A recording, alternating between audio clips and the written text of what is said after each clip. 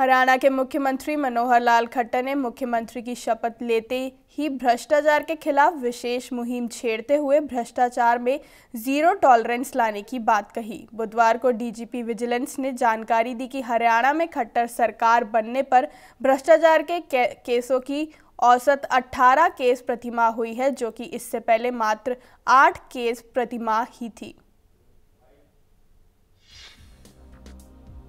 हरियाणा के मुख्यमंत्री मनोहर लाल खट्टर ने मुख्यमंत्री की शपथ लेते ही भ्रष्टाचार के खिलाफ विशेष मुहिम छेड़ने का जो वायदा किया था, उसका असर अब देखा जाने लगा है।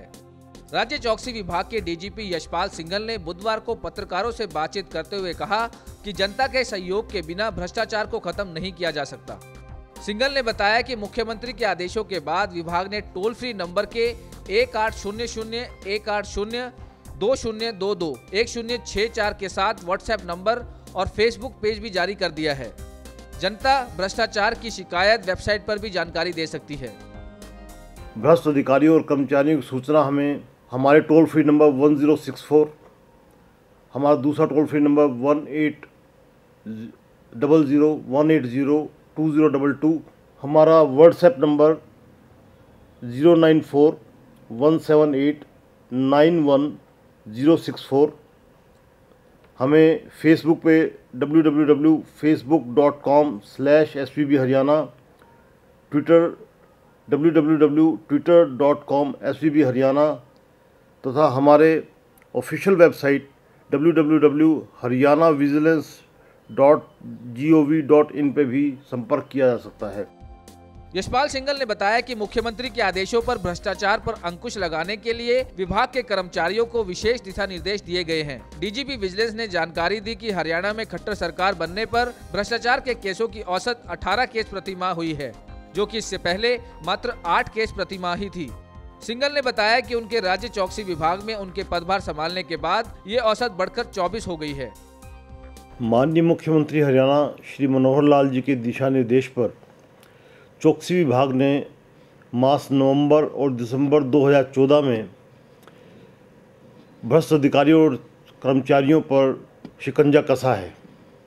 वर्ष के पहले दस महीनों में औसत में आठ ही केस दर्ज किए जाते थे, जो नवंबर और दिसंबर के मास में अठारह प्रति मास हो गए हैं। और 10 ग्यारह 2014 के बाद यह औसत लगभग 24 हो गई है।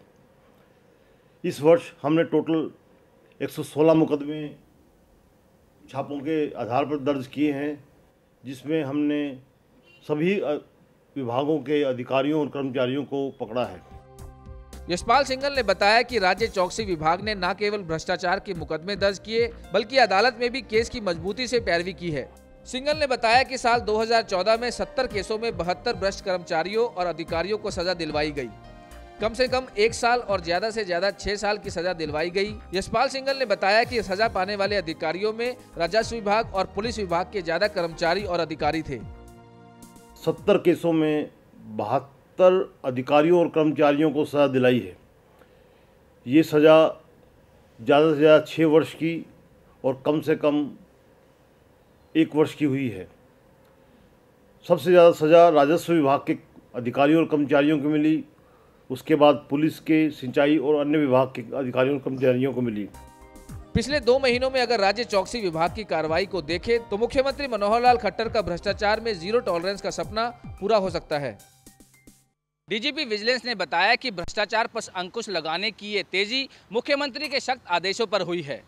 डीजीपी के अनुसार भ्रष्टाचार पर अंकुश लगाने के लिए जनता से भी उन्होंने सहयोग की अपील की है।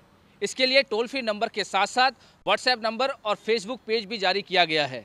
चंडीगढ़ से कैमरामैन गीश दुर्गा पाल के साथ Manoj Rathi day night news. खबरों की दुनिया में आइए। हमारे साथ कहीं भी और कभी भी जुड़िए। हम मिलेंगे फेसबुक पर, हम दिखेंगे यूट्यूब पर। हमें फॉलो कीजिए ट्विटर पर।